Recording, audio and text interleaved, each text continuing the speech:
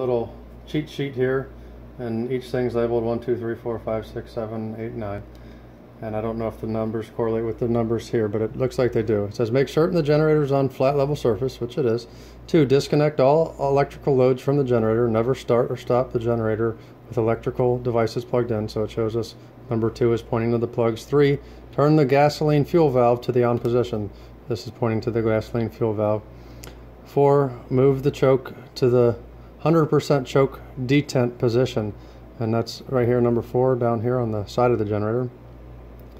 A, for a restarting a warm engine, move the choke to the 75% choke detent position.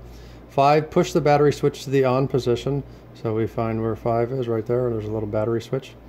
6. Push the ignition switch to the on position. Number 6 right here. And that's to it's gonna start up. 7. Electric start. Press and hold the engine switch to the start position. Release as the engine begins to start.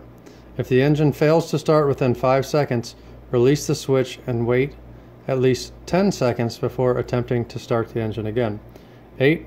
This is for a recoil start. That's if the starter doesn't have enough power. Pull the starter cord slowly until resistance is felt, then pull rapidly. Mom, I wouldn't recommend doing this. Probably going to be too hard for you. 9. Do not over choke. As soon as the engine starts, gradually move the choke lever to the run position over a 2 to 5 second duration. Remember our choke lever is number 4 here. We're going to as the engine starts, we're going to slowly move it off of choke to the run position.